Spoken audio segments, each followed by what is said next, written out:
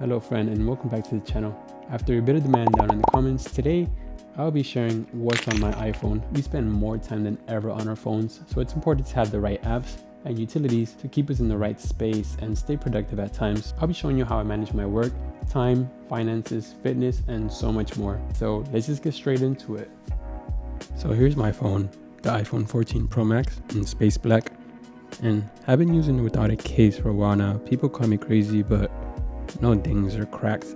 Check out this neat little MagSafe attachment by MOFT. Okay, so let's start by taking a quick look at my lock screen and the overall layout of my apps and widgets to get a general idea of how I organize my phone and then we'll hop into some specific apps.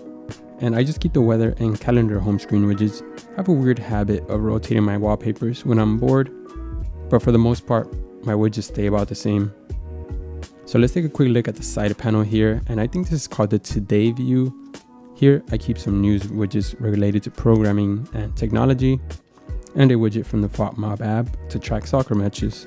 And at the bottom here, I just have a couple finance widgets using the Copilot app like budget, net worth tracking, and transactions tracking. I find it nice to have my daily transactions quickly visible. That way I don't get surprised by any unexpected expenses. This is one of my favorite apps actually, which I'll cover more in depth later. So let's look at the home screen and you may notice that I have a lot of the default widgets and apps. A long time ago, I really spent a lot of time customizing my home screens, using custom widgets and launchers, but I like to just keep it simple now and pretty much just keep my home screen free of third-party apps. And starting with the dock, really I just keep the things I need quickest access to of course. For me, it's email, the Safari browser, I don't use Chrome or anything else on mobile. Then of course the phone and messages. So let's take a look at the cool new iOS 17 contact posters. What do you think?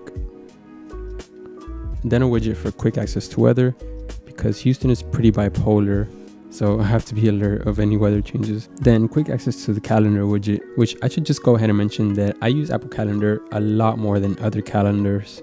I feel like Apple Calendar just has everything I need already, so don't have to rely on other apps. Then I have reminders and a quick look at my Apple Card, a widget for maps and my AirTag items and my contacts locations and a widget for quick reading list that I have bookmarked from Safari. And on the right side, I have all my applications. But here, what's important is the Notes app. I've tried many apps like Todoist, among others, but for any time that I need to jot something down very quick, the Notes app just gets the job done for me. But with Notes, in the case that I do require more features, I rely on other apps, which I'll show later like Notion. And lastly here there's Apple Maps, which is my go-to app for navigation, because I really like that they have built-in support for bike routes. So let's move on to the second screen and this is where it starts getting a little bit more fun. Very similar layout where I have my widgets on the left and my apps on the right. And I kind of set this up subconsciously, but it makes perfect sense.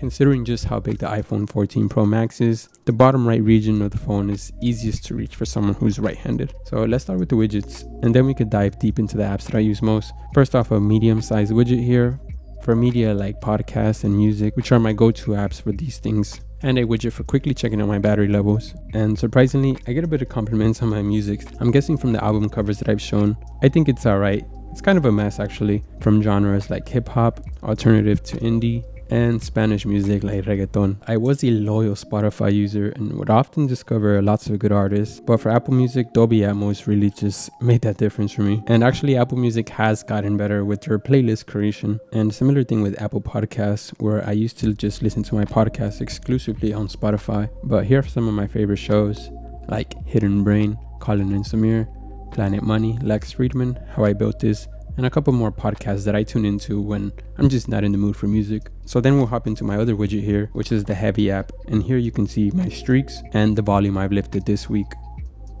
And going into the app, you can see a lot more useful metrics like muscle distribution. You can keep track of your weight over time and see your calendar to see how consistent you've been. I'd really recommend for you to check out this workout app, which is free actually. Oh, and also, of course, I'll be listing every single app down in the description as well. And moving on to this other widget here, which is the Cowboy app. And this is the app that I use to manage all my bike controls. And now I can conveniently turn on my bike with Siri. Siri, turn on bike. Of course, it's not going to work right now because I'm not nearby.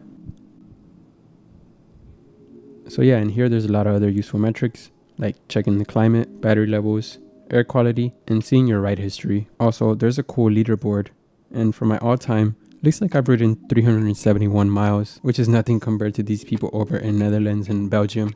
But before I show you around this one, I have to quickly tell you about the sponsor of today's video, which is Torras. Honestly, I prefer the look of no case on my iPhone, but if I'm going out or doing any kind of activity, it's essential to have one around. The highlight for today is the Torras UPro Ostand K series. This is what they look like on the new iPhone 15. I'm testing out the Ostand R and the Ostand SS Shield. The Ostand Shield provides just a bit more protection if you prefer that, and a pretty cool bubble-like design. But the key thing here is the circular kickstand, which is of course in the name, which you can use to prop your phone up either vertically or horizontally. And the ring is practical for many everyday things. I use it to set timers while I'm at the gym or to just set my phone up when I'm working at my desk. And I was quite surprised by just how strong the ring actually is. It's not like a flimsy rubber. Also, these are MagSafe compatible, so you can keep using your favorite MagSafe accessories, to them no problem. Overall, these hit all the check marks for me. They're super practical and have a really simple design at the same time. Thanks Torras for making this video possible. Check them out with my link down in the description and let's keep going. So the last widget I have here is my screen time. Do you really want to see my average? Whatever, let's look at it. So yeah, I probably spend more time than I need to be on social applications, but a lot of this is skewed sometimes. For instance, check out the creators app, which I use to control my camera. And next we'll start by looking at some of the folders that I have on here. So let's start by looking at productivity. So quite a bit to unpack here in the productivity folder and we already looked at the Hevy app, but let's look at what else is in here. And first off, we have Notion. Notion is like a Swiss knife for me currently. I track so many things on Notion, like my notes for software development, tracking my YouTube videos, and brand sponsorships. To get the most out of Notion, you have to use databases instead of traditional note pages. And whenever I do need a little bit more of organization compared to the Apple Notes app, Notion is my go-to option. I use it almost daily now. Here you can see where I plan my titles and thumbnails and where I track my software development notes like stand-ups. And also Notion just gets even more powerful on the desktop version. So let's take a look at Superhuman. Superhuman is probably my most expensive app, but Superhuman is probably the best email client out there. But besides that, this app saves me so much time when managing my inbox and helps me reach the famous inbox zero with features like snippets, reminders to send your emails, which is really useful when you want to follow up, and AI composing.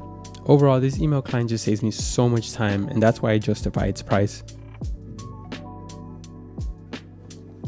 Next up, we have ChatGPT. So if you're not using ChatGPT already, you're missing out on a pretty valuable tool that can double your productivity. I found that it's not perfect to reach a final product on what you're trying to do, but it's awesome to use that as a starting point for many things, from things like video scripts and templates to email templates and even coding solutions when I get stuck on a quick problem or I just forget how to do something. And it's awesome for generating boilerplate code snippets. And also a little bit more hidden with the ChatGPT app is actually connected to Siri so you can ask it questions that way. Then I have GitHub which is my go-to for managing my personal projects and uh, I've tried others like Bitbucket and GitLab but GitHub is the winner for me and it just has a much bigger community overall as well. Next up I have the Brilliant.org app, which Brilliant is a sponsor of the channel actually. But really quick, I think Brilliant is an awesome way to quickly learn things on the go from a bunch of STEM topics. And their user interface and progression system is pretty nice and makes the learning material feel digestible. And then I have Medium, which is nice to read articles on a wide range of topics. Then I have Gmail, which is what I ended up going for my account management on this channel. And it comes with a lot of other useful things like Google Meet and much more. And last up on the productivity, I have the Cron app, which is a pretty new app to me. Now, I did mention that I use Apple Calendars, but this is a new one that I've been testing, which I believe was recently acquired by Notion. So a current problem with Notion is that it's not the easiest or most seamless to integrate with Google Calendar, but there's a fix with using Cron and syncing it that way which I'll be trying out because I would love to have all my important dates that I have on Notion sync easily and visible on my calendars. And now let's switch over to my work folder. And pretty much as described, these are the apps that I use to get around work and to get around my office and for team communications. As you can see, we use the Microsoft stack with Outlook and Teams. Then we have Jira for our actual issue tracking. So hang tight, we're almost at the finish line here, guys. And next up, I want to start looking into some of my finance apps. So of course, there's a couple bank applications that I use, but there's one single app that pretty much brings everything that I use together into one single application, and that's Copilot or Copilot.money. So this is what you open up to on the Copilot app, which is the dashboard. And here you get a quick overview with this graph of your monthly budget. Another cool thing is the AI categorization. And also I really like this kind of inbox feature where you have to review your transactions. That way by reviewing all of your transactions, you won't have any unexpected expense that you didn't remember about some time later. And this is another paid service, but it's been pretty invaluable for me to check on my transactions and manage all of my accounts from just one place. Here's an example of your investments tracking. And you can just track so many things here on the Copilot app, like net worth and income. So that was just a quick overview of the Copilot app. I did want to get into my salary and expenses as a software engineer, but that would make this video extra long. So let's save that for another video real soon. I'm a Copilot affiliate as well, so I'll be linking my special code down below if you want a free trial. Then for investments, I use Fidelity and Robinhood which I won't get too much into. I'll say that for the video where I talk about my salary and how I manage it. Another app that I'm constantly getting into is Stripe. And Stripe is really how I manage all of my online payments. So the Stripe application itself is actually quite bare bones. This is pretty much what a payment look, looks like when I send it over to a customer. And again, Sarge is really professional and leaves a really good impression on your brand. So then we have our social apps. And of course, these are pretty self-explanatory. What I spend most of my time on is Instagram and Reddit. If you haven't already, go ahead and give me a follow on Instagram. And for Reddit, I would recommend a couple subreddits if you're into computer science, like CS career questions, experience dev, and learn programming. There's just a lot of interesting conversations and threads going on in here. So next up in socials, we have Team Blind. So the way Blind is, is that you have to sign up with a company email. That way it kind of legitimizes everybody's posts in a way. And it's kind of like a way to get an inside scoop in some companies. There's a bunch of interesting forums and posts from real workers in tech. Here you can discuss things like career tips and compensation or salary and a bunch of other useful things. And one last thing here in the socials is my own app. Well, it's not really an app, but just an installed Safari shortcut kind of just threw it in here randomly. And this is my own personal website where I have blog posts, gear lists, and here you can also just learn more about me. So check it out if you haven't already. All right, so let's move on to our other folders, which I'll be covering a little faster. And here in our photo and video, some of the standouts are the YouTube Studio app, which is of course where I see all of my channel analytics and see how my videos are performing. These last two videos are actually doing pretty good, so thank you all. And if you haven't noticed, I tried to get it to as many comments as possible, and this is how, through the YouTube Studio app.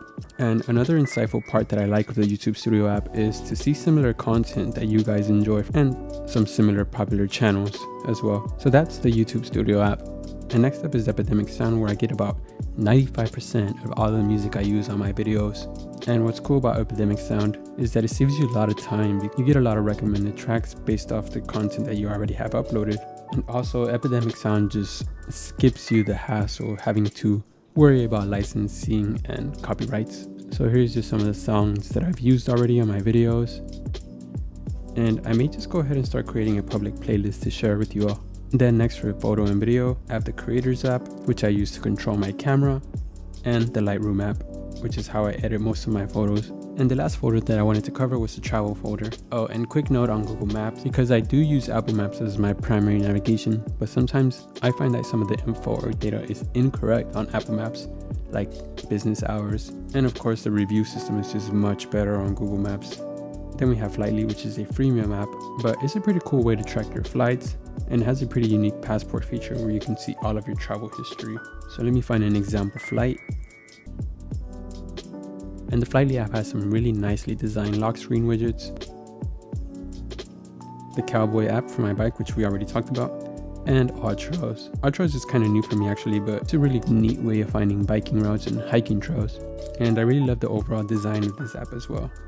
So my last page is really just all of the rest of my default apps and some of the things that I use here that help my productivity are mostly the reminders app, voice memos, shortcuts, and the health app, which I have been using the new state of mind tracking. It's just a nice way to track your overall mood for the day and to have a history of your mood over time. Let me toggle it into dark mode because it's a little hard to see, but also on my health app, I have my workouts synced through the Hevy app and my cycling through the cowboy app.